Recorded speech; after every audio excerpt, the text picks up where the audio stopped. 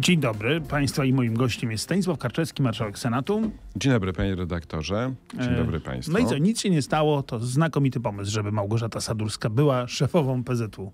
Prawda? Nie, Wiceszefową no, oczywiście. e, Panie, panie redaktorze, e, pani e, Małgorzata Sudorowska jest bardzo doświadczonym człowiekiem. e, Tak. Ma wykształcenie prawnicze. Oczywiście. E, Była ministrem w kancelarii prezesa Rady Ministrów. Była przez dwa lata e, szefową kancelarii, więc doświadczenie ma duże. Jest przede wszystkim uczciwym i solidnym politykiem. To jest No i taka to najlepsza wystarcza. Proszę Państwa, jak ktoś z Państwa skończył studia prawnicze, na przykład dziecko mu skończyło studia prawnicze, a poza tym jest uczciwe, to naprawdę niech wysyła papiery do PZU. Może, są jeszcze miejsca w zarządzie, tak?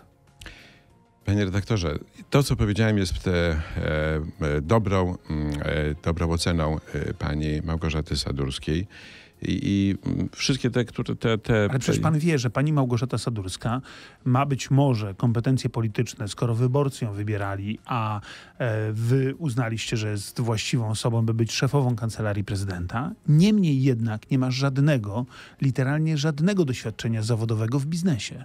Ale, ale panie redaktorze, przede wszystkim proszę spojrzeć na to, w jaki sposób spółki w tej chwili funkcjonują, spółki Skarbu Państwa. Do tej pory one były, nie, nie wszystkie miały przychody dobre, nie miały zysków, zysków, prawda? Niektóre były takie jak chociażby LOT, który przynosił straty. Ja się cały czas dziwiłem, dlaczego spółka LOT przynosi straty. Okazuje się, że można. Okazuje się, że właśnie pokazujemy, że w czasach, kiedy Prawo i Sprawiedliwość rządzi i Ja również wiem, ma wpływ na... spół- I również ma wpływ, bo teraz ma, ma wpływ również na te spółki. To te spółki przynoszą, skarbu, e, przynoszą do Skarbu Państwa Mhm. I olbrzymie korzyści. możemy wsadzić My- tam każdego. Nie każdego. Pani, e, Pod pani, warunkiem, że jest naszym pani. Małgorzata, pani Małgorzata Sadurska ma wszelkie kompetencje. Proszę mi wiedzieć, wierzyć i pan doskonale o tym wie. Ja wiem, patrzymy sobie prosto w oczy. to jest e, świetnie. Człowiekiem niezwykle uczciwym, solidnym. E, wiem, że słucha Panie tego marszałku, programu i słucha niekorzystnych, nie, o, e, Nie puści- spraw, nie przypadkiem jej tak. dużo, sprawiają jej i dziennikarze, i politycy wielką krzywdę. Wielką Tem- krzywdę ja robię pani Małgorzacie nie, ja Sadurskiej, o mówię- ja- ja, nie, ale czy ja ja powiedziałem mogę- o panu? Nie, ja Pani powiedziałem o tych minister- politykach, którzy sobie kpią w tej chwili. Zrobiliśmy bardzo dużo w zakresie spółek Skarbu Państwa. Obniżyliśmy pensje. To dobrze, żeby radiosłucharze wiedzieli, że my zaczęliśmy nasze sprawowanie władzy, właśnie rządu, właśnie od tego, że obniżyliśmy pensje. Zrobiliśmy również razie. coś innego, a mianowicie zmniejszyli, zwiększyliśmy i to do 70% odprawy, które dostawali wcześniej politycy, politycy, również politycy Platformy Obywatelskiej. Pa- 3 milionowe odprawy. Czy ten monolog Zwiększyliśmy do 70% em, e, opodatkowanie tych odpraw. I te pieniądze płynęły do naszego, do pana i do mojego wspólnego garnka. Ja dzięki wam oczywiście zarabiam krocie. Bardzo wam za to serdecznie dziękuję. A teraz zupełnie poważnie. Powa- Nie, cały czas poważnie mówię, panie Ach, przepraszam, bo ja się uśmiechałem, bo myślałem, że pan żartuje. Nie, cały E, czas poważnie mówię. Te niewielkie pieniądze, które będzie teraz zarabiała pani, pani Małgorzata Sadurska, to 90 tysięcy złotych. Ja powiem panu tak, niech zarabia nawet 900 miesięcznie, pod warunkiem, że w prywatnej firmie. Skoro jest tak kompetentna, jak pan mówił na początku, to, Jest kompetentną to dlaczego, niech mi pan powie, nie biją się o nią prywatne banki? Ja tego nie wiem, a być może będą się biły, panie redaktorze. Tego nie wiem, zobaczymy. Na razie, w tej, na razie jest taka decyzja. Naprawdę Oj, jest to tak. osoba o Oj, niezwykłych tak. walorach, a przede wszystkim głównym walorem pani Małgorzaty Sadurskiej jest to, że jest rzetelnym politykiem, rzetelną osobą i uczciwą. Przepraszam bardzo, no ale I to wystarczy. I miliony panie Polaków redaktorze- są uczciwe i jakoś wy tych milionów Polaków do spółek nie wpuszczacie, tylko własnych przyjaciół. Ale porozmawiamy o pieniądzach jeszcze chwilę. Panie marszałku, pan wiedział, że pan mi patrzy prosto w oczy. Tu jest kamera i niech pan powie swoim wyborcom, nauczycielkom i nauczycielom, którzy zarabiają, mówię o ludziach wykształconych, ludziach z doświadczeniem zawodowym, na przykład, którzy zarabiają po 3000 brutto. Niech im pan powie, że za mie- miesięczną pensję pani Sadurskiej nauczyciel osiągnie w styczniu 2020, jeśli dzisiaj zacznie zarabiać. Niech pan to powie do kamery prosto w oczy, mówiąc Panie im tak, proszę panie państwa. redaktorze, nauczyciele i e, pan wymienił jeszcze inne zawody i e, zarabiają coraz więcej i mamy naprawdę coraz lepszą sytuację i coraz lepszą sytuację e, budżetową, coraz lepszą ocenę społeczną. Czyli nie e, chce pan tak- tego powiedzieć nauczycielom prosto w oczy. Tak, uważam, że pani Sadurska powinna zarabiać e, 30 razy więcej niż wy. Nie, 30 razy więcej nie zarabia i nie będzie zarabiać 30 90 razy. razy panie trzy. redaktorze, znacznie pan obniżył e, pensję e, nauczycieli. Tyle nie zarabiają. Zarabiają więcej. Ja życzę nauczycielom i wiem, że będą nauczyciele zarabiać więcej dba o to również pani Anna Zalewska, która powiedziała, że w ramach tej reformy, w ramach tych zmian, które są Dobrze, w tej chwili w nawet oświacie, zarabiali są sześć, dodatkowe. dwa razy tyle, a naprawdę rzadko Naprawdę zarabiamy nauczy. coraz więcej. E, e, ocena społeczna niech jest e, coraz W związku z tym niech pani minister. Sadurska tyle zarabia. Coraz lepsza ocena społeczna sytuacji również finansowej Polaków, obywateli. Panie tak, słucham, panie a tak zupełnie serio, to nie Cały wstyd? czas poważnie nie wstyd serio panu? rozmawiamy.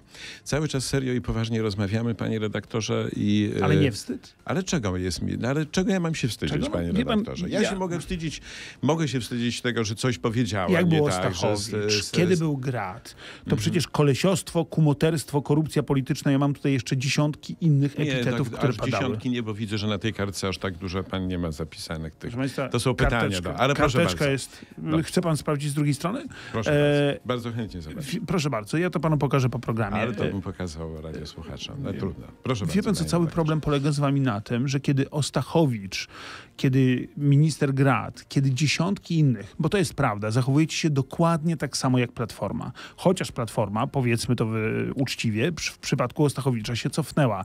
Wygląda na to, że wyjdziecie na, na rympał. No pan Stachowicz e, miał zarabiać zupełnie e, inne pieniądze z tego, co pan sobie przypomina. Jeszcze większe, dużo, dużo większe.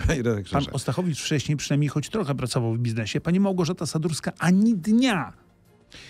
Ale ma doświadczenie, panie redaktorze. Jakie No można mieć to doświadczenie, powtarzam. jak no się dobrze, nie pracowało ani chwili? No. No ale, pra, ale pracowały, ale no dobrze, no to co, no to mają iść do biznesu ludzie, którzy pracowali w biznesie, tak? Nie, panie No marszałku. to jak mają zaczynać może pracę nie, w tym być- biznesie?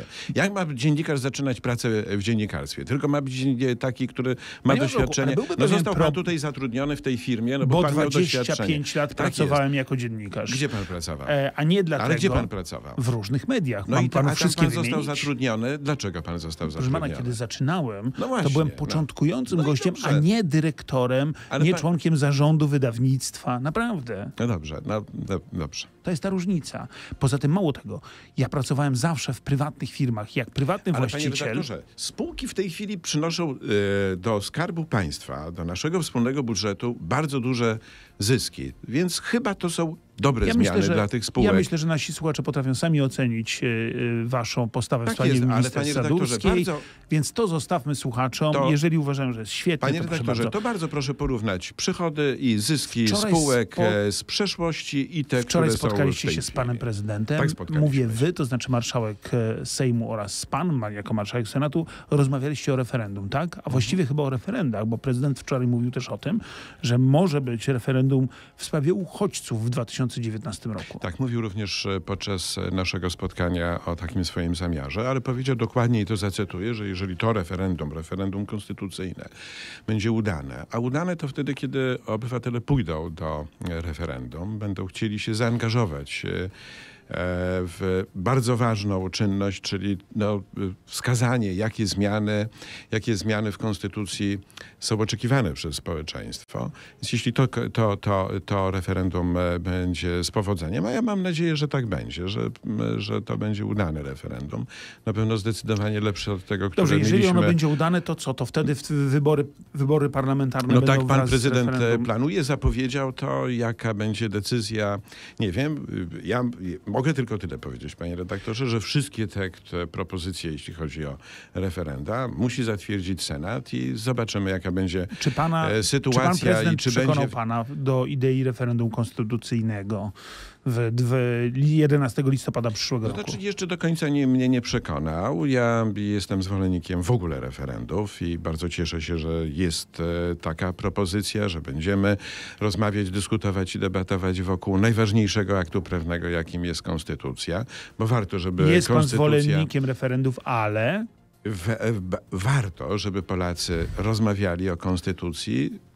Chciałbym, jakby to żeby było mniej barokowe, to byśmy Chciałbym, zrozumieli, co żeby- będzie... Jak, Ale ono nie będzie... jest barokowe, ono jest bardzo logiczne, panie redaktorze, bo rozpoczynam, mam wstęp, Pan powiedział, że, pana pre, że prezydent pana jeszcze nie przekonał. Ale chcę jeszcze dokończyć, panie redaktorze, bo chcę, żeby konstytucja Polaków łączyła. Na razie ta konstytucja w wielu swoich punktach i w wielu, swoich, w wielu sytuacjach dzieli Polaków. Ten długi wywód Jeśli, będziemy musieli dokończyć na jeśli chodzi- rmf24.pl i interi.pl, bo niestety o- nasz czas antenowy się skończył. Jeśli ja nie jestem panem czasu antenowego, a jak, jako marszałek Senatu nie sprawił pan nic, żeby, żeby to, ta rozmowa trwała dłużej. Może jakąś ustawę. Dziękujemy serdecznie słuchaczom. Bardzo dziękuję. Zostańcie z nami proszę w internecie.